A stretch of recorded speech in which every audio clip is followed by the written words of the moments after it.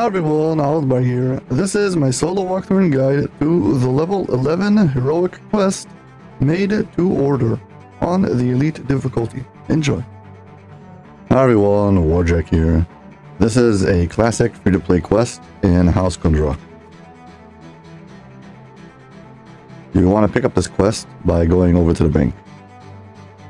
This quest happens in the timeline after the quest of uh, the Vault of Night. So next to this cabin over here, you can walk up these stairs. You can also come up from the stairs that lead up to the bank. And here you have a quest giver.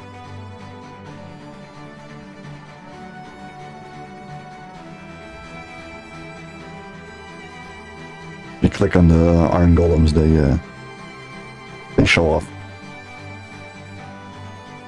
Yes, then you have to step into the Black Anvil Forest. The other question here is Relic of the Sovereign Host. Sovereign Past, whatever it's called. So yeah, beware of this lava, it actually does damage. I mean, it's actual lava, so unless you have high fire resistance, it'll take damage.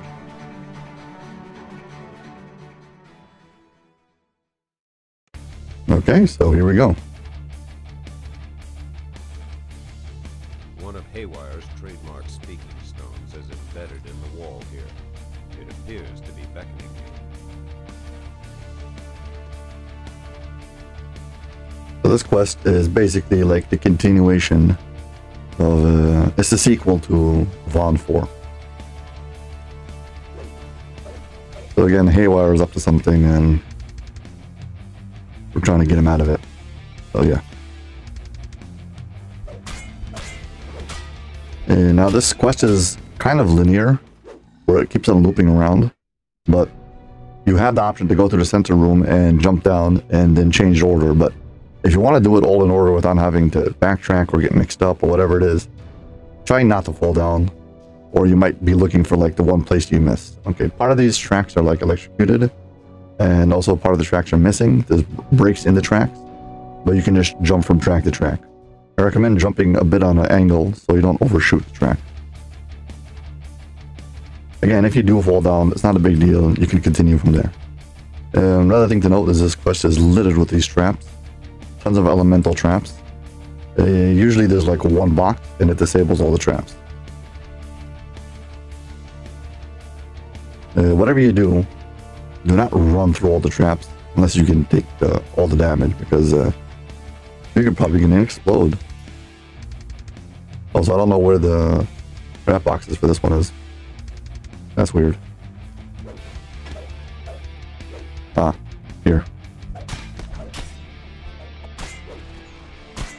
Generally speaking, the trap boxes before the traps, but not always.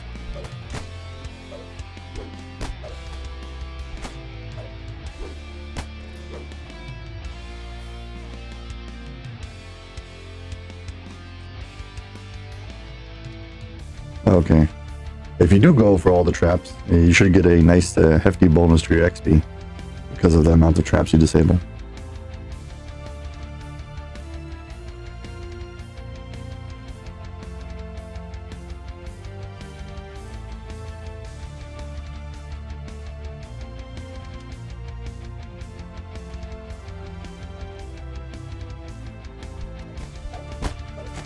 Say that these traps are probably strong enough that if you don't have evasion and a good reflex save, there is a good shot, good chance you'll be one shot. So, um, maybe not a good idea to do this quest uh, on elite if you can't uh, evade it or suck up the damage with like uh, resistance.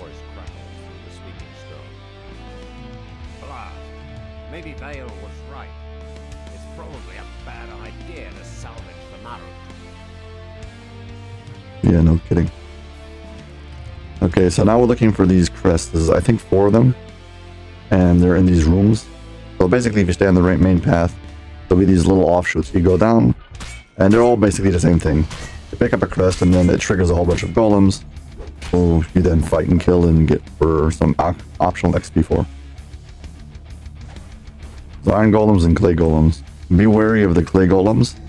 They can hit you with a curse. Like the clay golem over here is cursed for some reason. I don't know why. They start fighting each other. Yeah.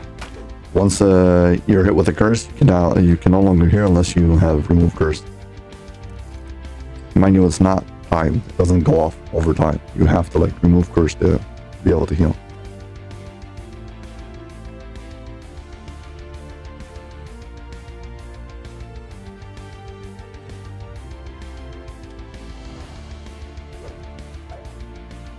Okay, let's move on.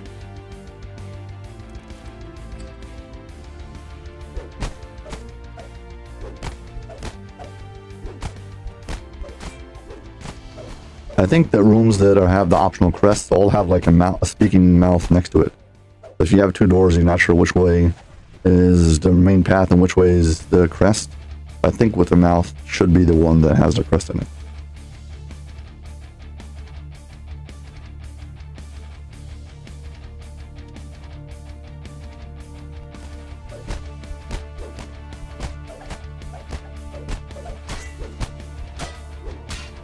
Overall, this quest is pretty straightforward. I do recommend having heavy fortification at least, because, uh, well, these dwarves, some of them have, uh, they have heavy picks, and that's a plus four to crit range. Also, there's a shrine here, just in case you haven't already.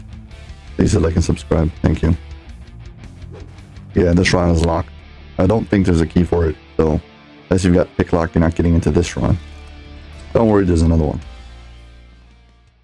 Okay, and now we're at the bottom. So you see, if you would have fallen down at the beginning, you could have just started from here and just walked back up and got that crest who's in that hallway.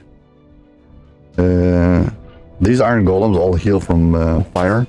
So them standing in the fire is actually healing them. So yeah, they're not taking damage. Um, this lava is not considered deep lava. So if you just got normal fire resistance, you should be okay. Uh, that being said, I don't know if all of it is just regular lava. There could be there's deep lava someplace. In which case, still, I wouldn't recommend just running around uh, without being careful. Okay, here we get the second crest.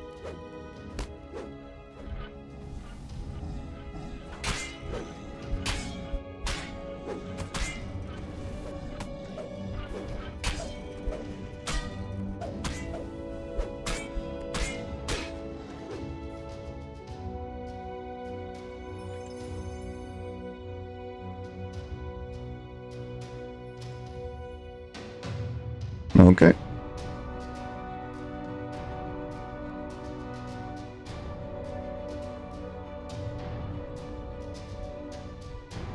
Yeah, some of these golems are like wandering around in the lava. It might be hard to go get them. But as you can see, I'm not taking any damage from this lava because I've got fire resistance on and it's plenty good enough to uh, avoid taking any damage. Okay, so yeah, that was the offshoot on this bottom floor. We got the crest over there, and now we're going to continue this hallway. All of these doors in this quest are all the kind that you click, and a few seconds later they close. All the doors in the quest except for the last door all have a lever on both sides, so even if the door closes, you can still open it from the other side.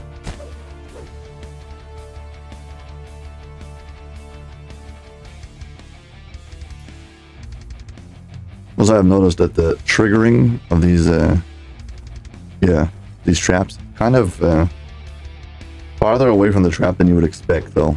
You might think you're safe and actually they just go off, so just be aware of that. Again, I think that they're all energy uh, type traps, though. having uh, absorb, uh, having resistance and absorption, not absorption, I mean, uh, yeah, basically elemental uh, absorption, where you take, uh, I don't know, points of elemental damage first. That can help you out a lot. So again, you know which way do you go first, so should be like a mouth over here, yes. This tells you that this is the optional hallway.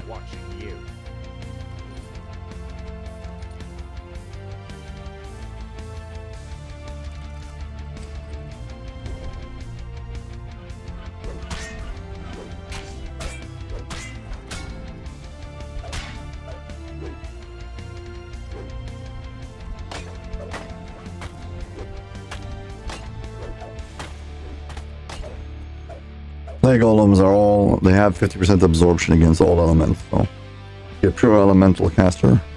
they suck up some of the energy.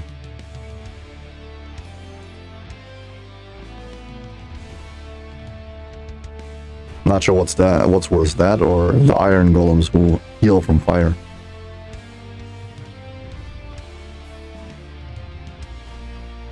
I've got this uh, red. I uh, got this uh, what's it called the sonic uh, wand from uh, the Red Fens. It's endless and it's great to use against breakables. So yeah, we got ourselves our next quest, and moving on.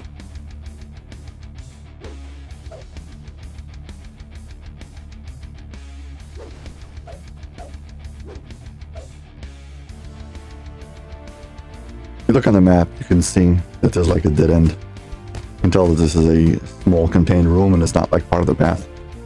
You need to go in here, I guess, uh, you want the boss.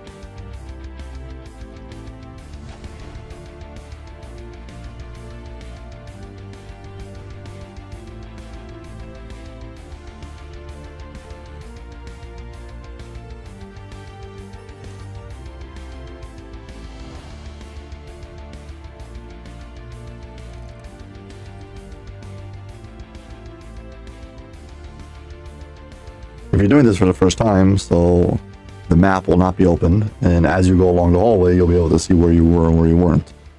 Even though it loops over, it's pretty clear where you were.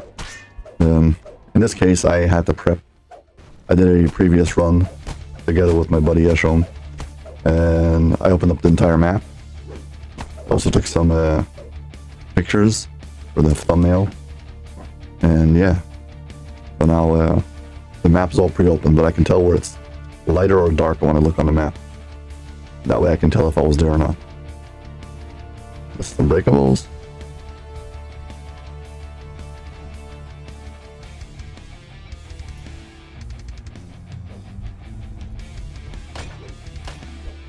Yeah, clay golems uh, heal from acid.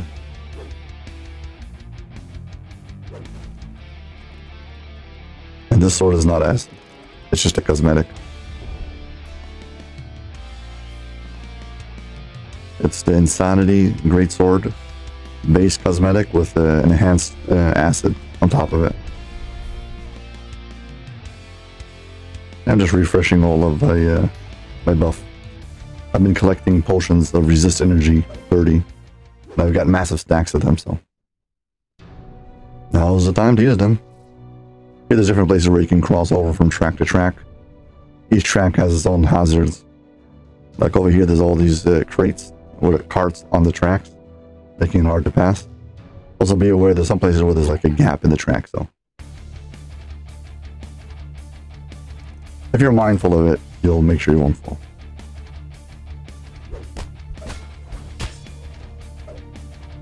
So basically this quest, as long as you're doing it in order, it's pretty simple. I mean, it's, it's, yeah, it was designed in a linear fashion, then opened up a bit so you can, you know, change your order of the quest, but it's basically still linear.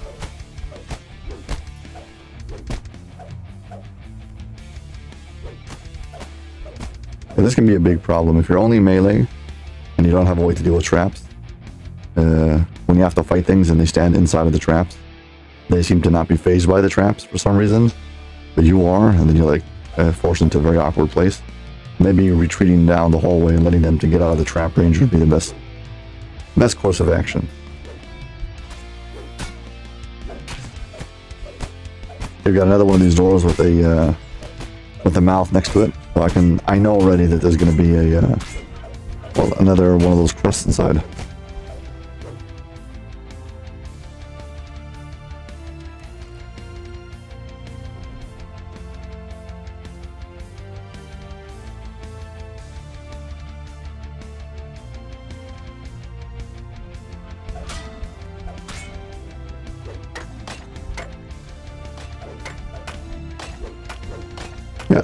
Extra XP for killing the clay golems and iron golems.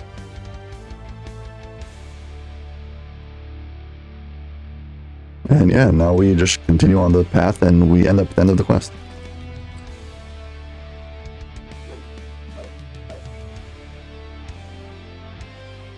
Based off the breakables, I can tell which way I'm going. That means I'm looking at the breakables. Did I do them or not? And if I did them already, so like, oh, I've been down that hallway already.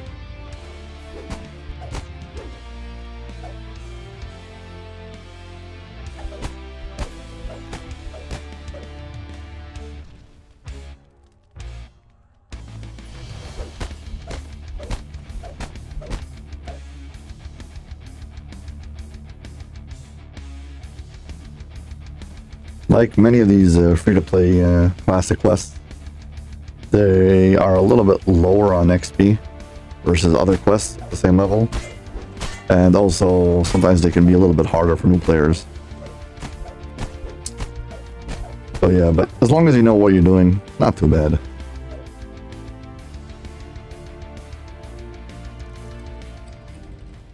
And yeah, here we are back in this main hall. Okay. Here's a side room. And again, here's a, well, shrine if you need it. This is uh this is the free shrine that everybody gets. The other one was locked. Yeah, and here you've got to be aware. I think there's a break in the track over here. Yeah, you see? The track is cracked. Basically, you're supposed to pass from track to track to avoid electricity or whatever. Just run through it. And here's all the sockets we need to fill with the crust we picked up. This final hallway is littered with traps, and it also loops around. It goes around in circles. Basically, it goes around and around and around and around, and we're just going to descend deeper and deeper.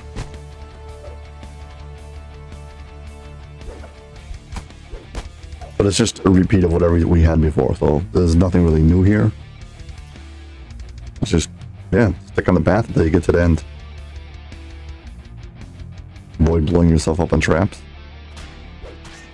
At this point, you already killed all the iron golems you need for the optional. So whatever you're killing now is just for the uh, ransack and for the onslaught, whatever it is, the killing bonuses.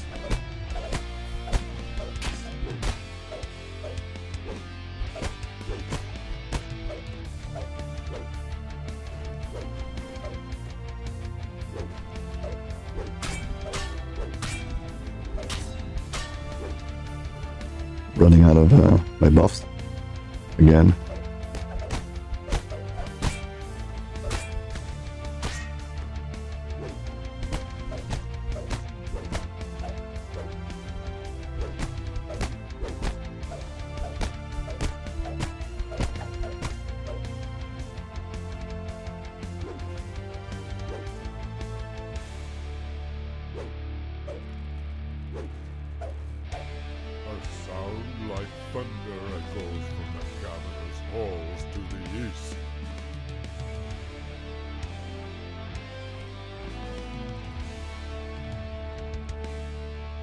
Okay. No, finally we have arrived. Well, like I said before, this door uh, has only a switch on one side. And just like all the rest of the doors, it closes. So you want to walk in, you can run back out, but if you wait too long, it'll close and you'll be stuck.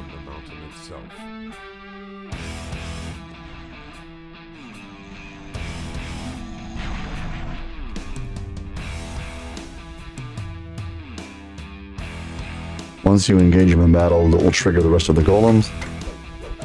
For some reason I like going for the other golems first.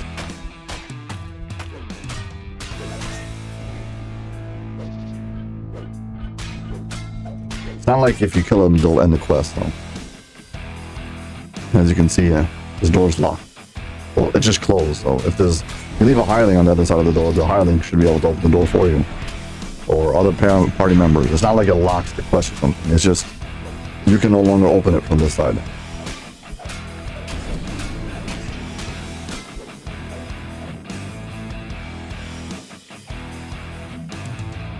Yeah, overall, not too hard. However, if you don't have good damage reduction, if you don't have a way to get past his damage reduction, I think you need chaotic uh, to get past his damage reduction.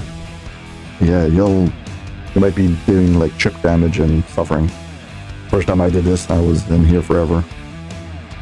I had to cheese it by standing out in the hallway and shooting him with like wimpy arrows and doing one or two points of damage each hit until eventually he died. Haywire stands in the center of the room, his right arm gleaming in the light. It appears that the genius inventor has experimented on himself.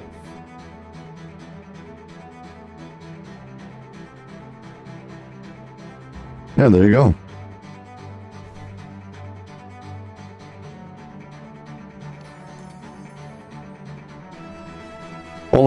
Not too bad. If you are, however, a character who doesn't have any way to deal with traps, or every time you run into a trap you like blow up, yeah, you're gonna be miserable doing this quest by yourself. So that's basically uh, it. Yeah, stick to the track, try not to fall off. It'll be fine. Pretty linear. Yeah, and there we go.